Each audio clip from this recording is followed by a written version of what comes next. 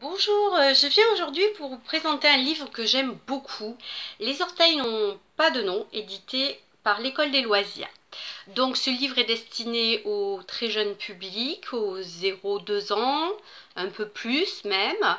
Donc c'est l'histoire euh, d'orteils qui se disent mais nous on n'a pas de, de, nom alors que les doigts de la main s'appellent pouce, index, majeur, etc. Donc ils veulent en avoir, ça les rend malheureux de ne pas en avoir. Donc chacun va de sa petite proposition. Un pro va proposer euh, les chiffres, voilà, euh, pourquoi pas.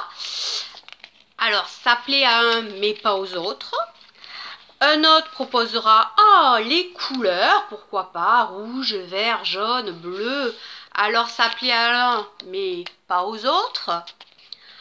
Ensuite, pourquoi pas les fruits Voilà, mais ça ne fait toujours pas l'unanimité. Alors, il s'interroge, mais comment on va faire? Quel nom va-t-on trouver? Et enfin, la solution arrive. Et voilà, je la trouve super. Voilà, j'adore ce livre. Le pouce optera pour les lettres. Le index, hein, si on peut dire, même si c'est pas son nom, les chiffres puis les notes, les couleurs et les fruits.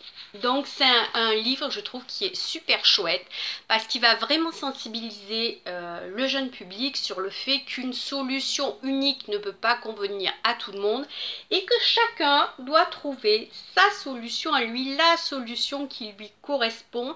Et cette solution, il ne peut la trouver euh, qu'en en se connaissant lui-même et connaissant ses propres goûts.